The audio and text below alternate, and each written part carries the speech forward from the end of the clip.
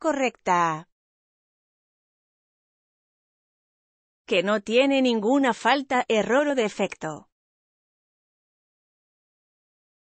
Que es acertado o adecuado a determinadas condiciones o circunstancias. Que es conforme a las normas del trato social. Suscríbete y dale a like para más videos.